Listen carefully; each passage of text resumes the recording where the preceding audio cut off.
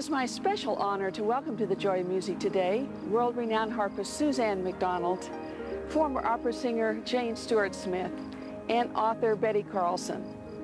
Both Miss Smith and Miss Carlson have authored many books over the years about their life at L'Abri, about music, and now about women hymn writers. We were able to sit down and discuss the wonderful text of these hymns.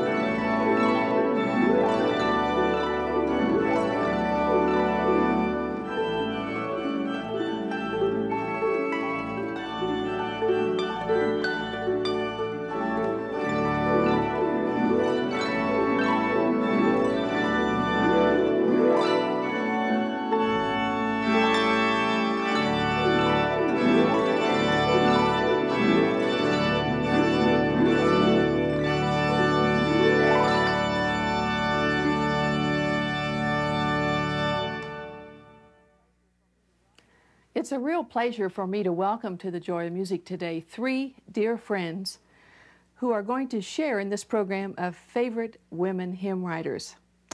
Susann McDonald, who plays the harp so beautifully, and Jane Stuart Smith, who is a former opera singer and who now lives and works here in the community of L'Abri, and my dear friend Betty Carlson, who is an author and writer and has written many books about the Christian faith and about life here in L'Abri. And I want to welcome you all to the Joy of Music.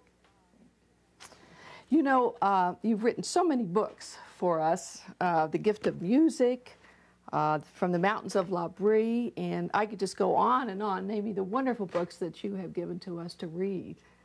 The book that you have written that has inspired this program is your latest book, Favorite Women Hymn Writers. It truly is inspirational. Betty? Why did you decide to write this book?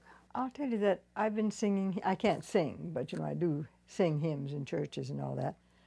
And I never thought much about who, who wrote words. And then I guess maybe Jane might have put the idea in my head or something. And then we started looking into the lives of some of these people who had written these hymns. And we were so amazed how nearly every one of the hymns came out of some hardship, some difficult situation. And that, I don't know, that was, I thought that, that needs to be written down, that to be used to encourage other people. And I'm sure Jane, too, is a singer that you've always loved hymns. Yes, hymns have been an interest all my life. Even as a little child, my mother was a wonderful singer and used to sing in the choir. And so I just grew up loving wonderful hymns and wanting to know more about them. I think Jesus Loves Me, you know, that you've written about is probably one of the favorite hymns of from childhood on up because it has such a simple message. Mm, absolutely. It's a great hymn. You know, we are in this work of L'Abri Fellowship, and Dr. Schaeffer, that was his favorite hymn. And it is so straightforward. And if people just remember that the Lord does love us and Jesus is our Savior as we trust in Him. Can you tell us something about the, the woman that wrote this hymn? Yes, Anna Warner wrote this hymn. It's a wonderful story. She was a very, uh, there were two sisters, and they lived near West Point, actually. And to make a living, they started writing, and her sister was very well known. But the one hymn that has lasted is Jesus Loves Me, This I Know. And when uh, they died, they left their, they had a, a Bible class for West Point for 50 That's years. right. And when they died, they left their home to West Point, which is now a museum. Mm-hmm. And certainly this hymn, Jesus Loves Me, has, has stayed with us all through the years and is a favorite. Jesus loves me, this I know, for the Bible tells me so. Little ones to him belong. We are weak, but he is strong.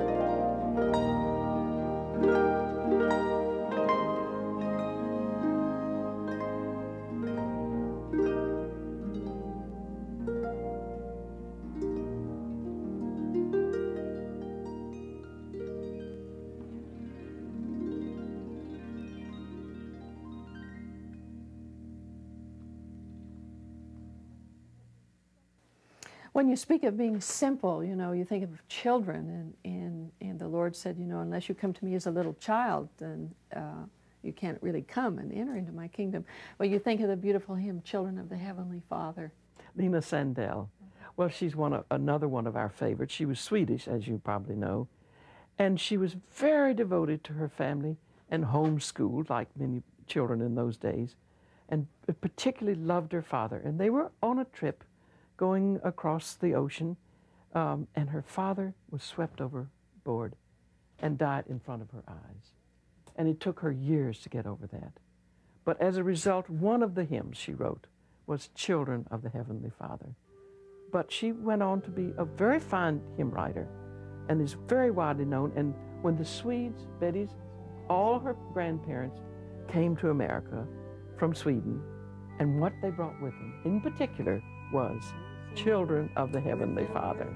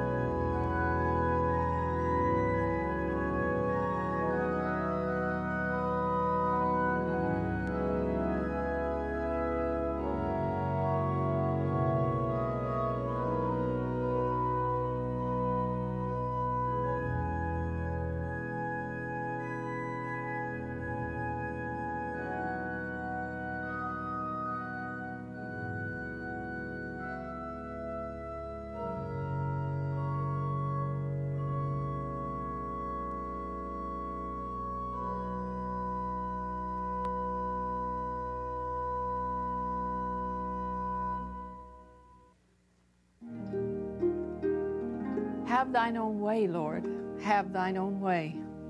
Thou art the potter, I am the clay.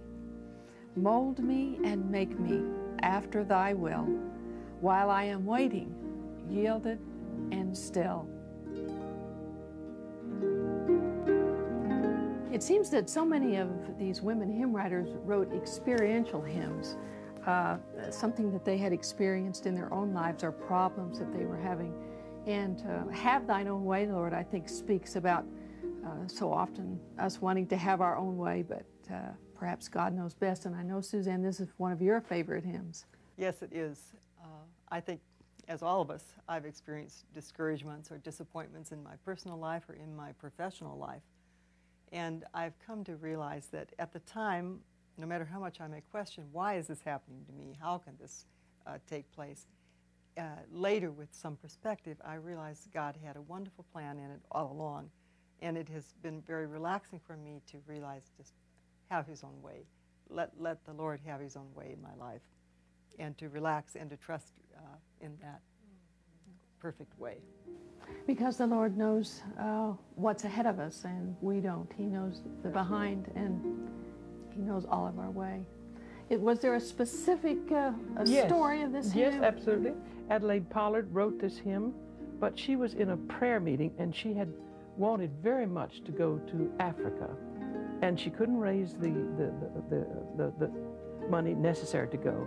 And she was very depressed. And she went to this prayer meeting and was very discouraged. And then suddenly, these wonderful words just came to her. And later, the Lord allowed her to go to Africa after all.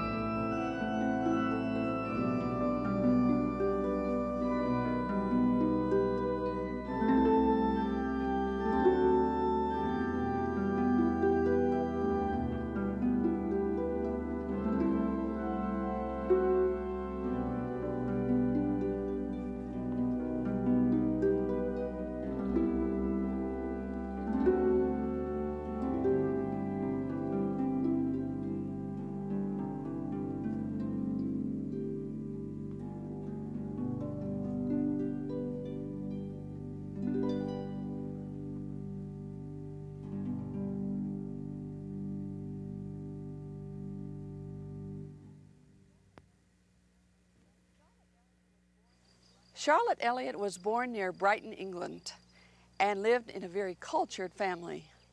At one point in her life, when she became very sad and discouraged, she went to a friend and told him that she wanted to know God, but she didn't know how. The friend told her, Charlotte, come just as you are to God. And these were the words that inspired her to write, Just as I am, without one plea, but that thy blood was shed for me, and that thou bidst me come to thee. O Lamb of God, I come.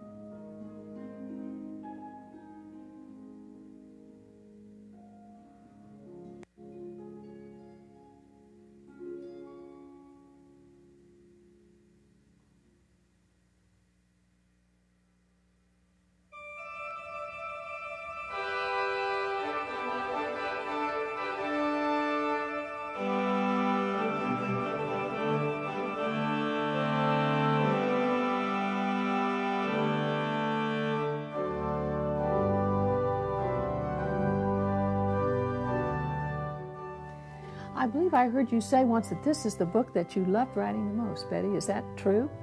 And why? The favorite hymn writers? Well, because, as I say, I hadn't thought much about who, who writes these hymns. And then when we, Jane and I worked it out together, we got into their lives, and it was such an encouragement to us. And that, now I've been writing for quite a few years, and I believe, you know, after a while you sort of decide, what, why are you writing? Well, one of the reasons I write is to encourage people mm. because I believe I, I need encouragement. I need that a, was a question I was going to ask yeah. you. Why do you write yeah. these books? To encourage people. Mm -hmm. And I get enough letters, we get enough letters to know that it's working. and that's right. all I need. I don't mm -hmm. have to have thousands of letters or anything. So and to, encouragement is a great thing in this, in this age. Who would you say is, is one of the most popular hymn writers or wrote the most hymns? Well, I would say Fanny Crosby is certainly uh, one of the most prolific of American women hymn writers. And I don't know if you know her story, but, but certainly it is one that should be known by all people, is that when she was a little baby, her, um, she got the wrong medicine and um, she uh, became blind. And her grandmother said, I will be her eyes. And her grandmother helped her to memorize much of Scripture. And you know, in the last part of her life, uh, she's, and she became happier and happier. She went through depressions too. But in the last part of her life, she lived to be in her 90s. She, someone said to her, You know, I'm so sorry. Wouldn't you? I am so sorry about your being blind. And she says, You know, if I were, uh, had my choice, I would be born blind again because the first person I would see and will see is the Lord Jesus, my Savior.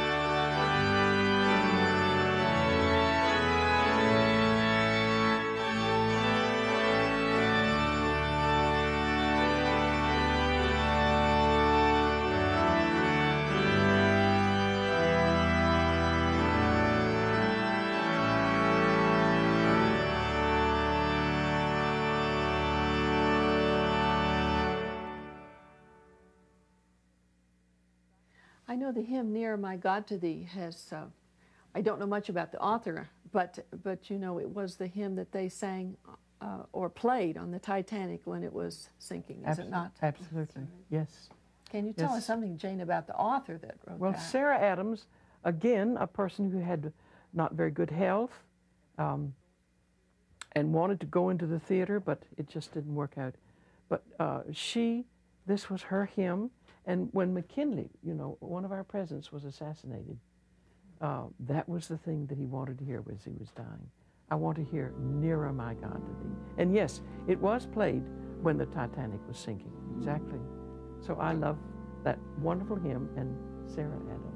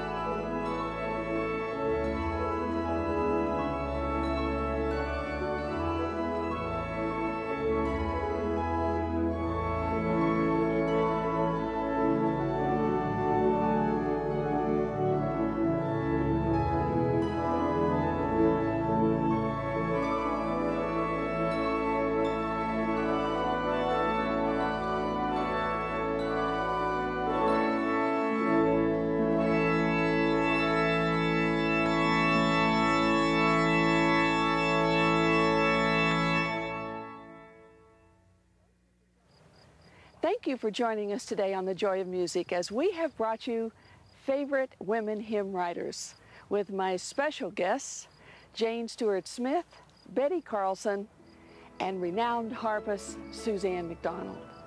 Thank you for joining us, and we look forward to seeing you again next week on The Joy of Music.